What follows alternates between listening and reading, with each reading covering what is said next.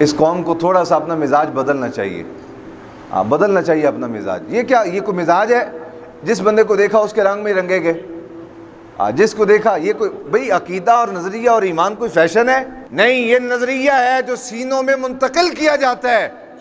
और ये वो नज़रिया है जो बदर में सहाबा कराम की गर्दनें कटी और उनका घर बार लुटा उहद में।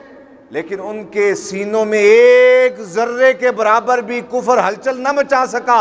इसलिए कि वो नज़रिए पर कायम थे वो अकीदे पर कायम थे। और उनका अकीदा ये था कि इस कायनात आलम में ना हमारे खुदा जैसा किसी का खुदा ना हमारे नबी और मुस्तफ़ा जैसा किसी का नबी और मुस्तफ़ा ना हमारे दीन जैसा किसी का दीन और मज़हब ना हमारे कुरान जैसा किसी का कुरान है। ये कोई फ़ैशन है? आ, एक शहर से कोई हवा चली दो चार टीवी पे इश्तहार चल गए तो लोगों के नज़रियात ही बदल गए। मैं देखता हूँ, हैरान होता हूँ, किसी एक्टर ने कोई ख़त बनवा लिया सारे नौजवान ही उसी उसी तरह ख़त बनवाने लग गए। किसी ने मूछें बड़ी कर ली तो सारी कौम की मूछें बड़ी हो गई। किसी ने बाल बड़े कर लिए तो सारी कौम की, बस तुम्हारा को अपना भी नज़रिया है कि नहीं? और फिर मैं थोड़ी तलख बात करूँगा तो आप नाराज़ होंगे। आखिर तुम्हारे को माँ बाप की ज़िम्मेदारी भी है कि नहीं? वो क्यों नहीं रोकते तुम्हें? ये जो दाढ़ी का खत यहाँ से ऐसे जा रहा है, यहाँ से इस तरफ़ जा रहा है, ये ये माँ का हक नहीं है रोकना, बाप का हक नहीं है रोकना। नबी पाक सल्लल्लाहु अलैहि वसल्लम ने फरमाया, क़यामत के दिन हर बंदे से उसकी मातहत के मुतालिक सवाल किया जाएगा। मालिक से मुलाजिम के मुतालिक सवाल होगा। बाप से औलाद के मुतालिक सवाल होगा। बड़े भाई से छोटे भाइयों से मुतालिक सवाल होगा। और फरमाया, जिसका दर्जा बड़ा होगा, उससे छोटे दर्जे वाले के मुतालिक सवाल होगा कि तू चाहता तो रोक सकता था, लेकिन तुझे परवाह ही नहीं थी। और हमारी कौम का मिजाज बन गया, सानू की लगे। दुनिया जो मर्ज़ी करती, फिर हमें क्या लगे? ये जो नज़रिया है, ये नज़रिया इस्लाम का नहीं। और ना इस्लाम इस नज़रिए को कबूल करता है और ना क़यामत तक कबूल करेगा। इसलिए कि सैयद आलम जाने कायनात सल्लल्लाहु अलैहि वसल्लम ने तीन दर्जात बयान किए। फरमाया, बुराई देखो तो उसे हाथ से रोको। अगर हाथ से ना रोक सको, फरमाया, ज़ुबान से रोको। और अगर जुबान से भी रोकने की सलाहियत और ताकत नहीं रखते फरमाया फिर ਉਹਦੇ रंग ਵਿੱਚ रंगे ना जाओ कम अज कम दिल ਦੇ ਵਿੱਚ ਉਹਦੇ ਬਾਰੇ ਅਦਾਵਤ ਤੇ ਰੱਖੋ ਨਾ ਉਹਦੇ ਬਾਰੇ ਤਸਵੁਰ ਤੇ ਦਿਲ ਵਿੱਚ ਹੋਵੇ ਨਾ ਕਿ ਜਨਾਬ ਇਹ ਇਹ ਠੀਕ ਇਹ ਕੰਮ ठीक नहीं है और हुजूर ने ये बात बयान करके इरशाद फरमाया ये सबसे कम दर्जा है ईमान का क्या मतलब ये उस दर्जे का ईमान है आप यूं समझें कि एक शख्स दीवार पे खड़ा है और दोनों तरफ गहराई है इधर से अगर तेज हवा आती है आंधी आती है तो ये उस तरफ गिर जाएगा अगर उस तरफ से आती है तो ये उस तरफ गिर जाएगा फरमाइए ईमान के कमज़ोर तरीन दर्जे पर खड़ा है। अगर कुफर की तरफ़ से झोंका आएगा तो लपेट के ले जाएगा। अगर ईमान की तरफ़ से कोई मोमिन ज़रूरत करेंगे, हौसला करेंगे और वह अल्लाह के रज़ा के लिए निकलेंगे तबलीग के लिए, दीन इस्लाम की खिदमत के लिए, हक के पैगाम को पहुँचाने के लिए, फरमाया वो इन पर मेहनत करेंगे तो ये इनको समेट के वापस ले आएँगे। लेकिन ये जो दिल में बुरा जानना है किसी बुराई को फरमाया ये कम से, सबसे कम दर्जे का ईमान है। माँ बाप क्या इस दर्जे से भी नीचे उतर गए? बड़े भाई क्या इस दर्जे से भी नीचे उतर गए? माए इस दर्जे से भी नीचे उतर गई कि उनके सामने उनकी औलादें ऐसा लिबास पहनती हैं कि उनकी सारी पुश्त नंगी हो रही होती है। और माँ खुश है इस बात पे कि मेरे बच्चे की जो पुश्त है वो सारी नंगी हो रही है। बाप भी खुश है, भाई भी खुश हैं कि कोई बात नहीं, खैर है। क्या इसका रोकने का हक बनता है कि नहीं बनता?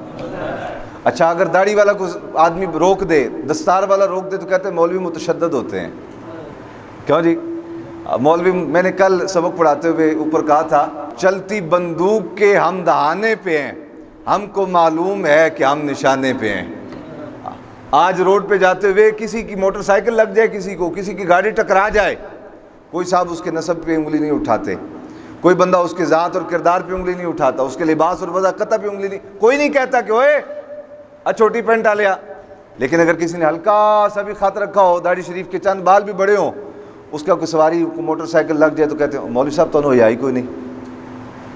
हमको मालूम है कि हम निशाने पे हैं, लेकिन बताना ये चाहते हैं कि कुछ तुम्हारी भी ज़िम्मेदारी और इस माशरे के हर शख्स से सवाल होगा क़यामत के दिन, क्या उसकी तैयारी कर ली हमने? अच्छा यहाँ तो हमको रिश्वत दे लेंगे, मामा चाचा बड़ा किसी की सिफारिश डलवा लेंगे। क्या रब की बारगाह में भी सिफारिश चलेगी? क्या रब की बारगाह में भी रिश्वत चलेगी? और वहाँ तो सिफारिश चलनी है अलिया कामिलीन की रब्बानीन की, और अम्बिया मुरसलीन की। तो इनके साथ तो हम जुल्म ये कर रहे हैं कि जो इनकी सुन्नत पे हल्का सा भी अमल करे। एक तो ये है कि दाढ़ी शरीफ पूरी हो जाना, खुबजा पूरी हो जाए। और एक ये है कि चंद बाल, एक हफ़्ता शेव नहीं करवाई उसने, जिन्होंने सिफारिश करनी है अल्लाह रब्बुल आलमीन की बारगाह में। तुम्हारी तो इनसे अदावत का आलम ये इनसे दुश्मनी और बोग्ज और असद और कीने का आलम ये कि कोई और बंदा तुम्हारी टांग भी तोड़ के गुजर जाए तो तुम उसकी ज़ात पे एतराज़ नहीं करते, उसकी वजह कता पे एतराज़ नहीं करते और कोई दीन दाढ़ी वाला हल्का सा टच भी कर जाए तुम्हें तो तुम कहते हो, मौलवी हयाई कोई नहीं। और भाई, जिनके नाइबीन पे, जिनके गुलामों पे, जिनके पैरोकारों पे, तुम इस तरह तंज के तीर बरसाते हो, निश्तर बरसाते हो। किस मुँह से तो रखते हो कि वो कयामत के दिन तुम्हारे हक में रब की बारगाह में सिफारिश करेंगे? और फिर इनके हक में सिफारिश होगी जो हर जुमतुल मुबारक के दिन वो आलू की तरह छल के आ जाए मुँह। इनके हक में सिफारिश होगी। नबी पाक सल्लल्लाहु अलैहि वसल्लम ने इरशाद फरमाया, मेरी आँखों के तारे वो लोग हैं, फरमाया, कयामत तक जो मेरे दीन के पहरेदार बन के रहेंगे। फरमाया, मेरी आँखों के तारे हैं। बल्कि नबी पाक सल्लल्लाहु अलैहि वसल्लम ने इरशाद, मुझे हदीस मुबारक याद। आप लुत्फ लेंगे इस बात से। आका इस्लाम ने ना मिंबर पे जलवा गर हुए और हजूर ने ना यूँ यदुल्ला फ़ौकायदी वाले हाथ आसमान की जाने बुलंद किए। और बेलियो जब किसी से किसी चीज़ का सवाल करना हो और लेकर उठना हो तो फिर लेने वाले के अंदाज और होते हैं। आ, लेने वाला कभी इस तरह नहीं कहता कि ए मैंने भी दे जरा। ऐदरा मैंने भी देना। जो लेने में मुखलिस होता है वो फिर पूरी तवज्जो करता है। सैयद आलम जाने कायनात सल्लल्लाहु अलैहि वसल्लम ने अपनी कमली मुबारक से हाथ निकाले। हाथ भी आसमान की जानब किए और चेहरा आप भी और आँखें भी आसमान की जानब। और याद रखना ये वही निगाहें हैं जब उठती हैं तो किबले बदल जाया करते हैं। आ, ये वो निगाहें हैं जब उठ जाएँ आसमान की तरफ़ तो तकदीरें बदल दी जाती हैं। सैयद आलम जाने अलैहि वसल्लम दस्ते अकदस भी सरकार के अरश मोहल्ला की तरफ़ सर अकदस भी चेहरा वद्दो भी सरकार का अरश मोहल्ला की तरफ़ निगाहें भी। राका ने दुआ फरमाई या अल्लाह मेरे खुलाफा को खैर कसीर से नवाज़। या मेरे खुलाफा को खैर कसीर अता फरमा।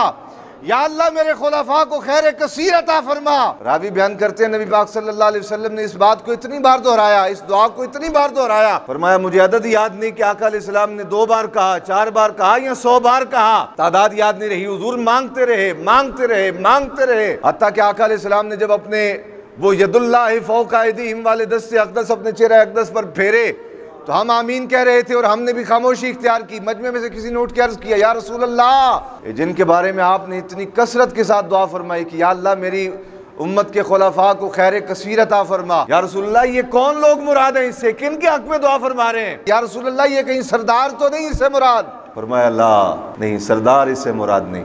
बड़े कबाइल वाले लोग मुराद हैं। फरमाया, नहीं, हजूर जिनके हाँ औलाद ज़्यादा होगी, क्योंकि आपने फरमा रखा है कि उस औरत से निकाह करो जो ज़्यादा बच्चे पैदा करने वाली हो। तो क्या ज़्यादा औलाद वाले लोग जो हैं, वो मुराद हैं इससे आपके खुलाफा से, जिनके लिए आप खैर कसीर मांग रहे हैं? फरमाया, नहीं, हजूर फिर मुराद कौन है? फरमाया इस दुआ से मुराद कयामत तक वो लोग हैं जो किसी कौम से हो, किसी कबीले से हो, किसी असब और नसब से हो। लेकिन जब वो मेरा कलमा पढ़ के मेरे दीन में दाखिल होंगे तो अपने सीने को रब के कुरान से और मुझ मोहम्मद के फरमान से भर लेंगे। अब वो दीन के मुहाफिज बन जाएँगे। अब वो दीन के पहरेदार बन जाएँगे और पहरेदार वही बनेगा कि जो चौकीदारी सीखेगा। अच्छा किसी नवाब के घर में कोई बच्चा पैदा हो जाए और उसे कहा जाए कि बैंक की चौकीदारी करनी है, कर लेगा वो। तो चौकीदारी करने का भी एक फन होता है। जो सीखेगा, वो उस मनसब तक पहुंचेगा। इससे इशारा ना इल्म की तरफ़ जाता है। इल्म की तरफ़। इल्म की तरफ़ इशारा है इससे। लेकिन याद रखो बेलियो, इल्म उस वक्त तक नफा बख्श नहीं होता जब तक अमल में ढाल ना जाए। इल्म जो इंसान के सीने में है, वो इंसान के अमल से, किरदार से ज़ाहिर ना होने लग जाए। उस वक्त तक इल्म जो है, वो नफा बख्श नहीं।